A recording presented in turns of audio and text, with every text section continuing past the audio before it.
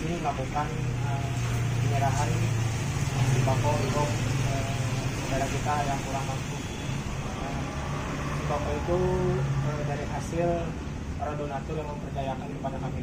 Jadi kami terima kasih banyak buat para donatur yang sudah mempercayakan sebagian hartanya disumbangkan kepada para warga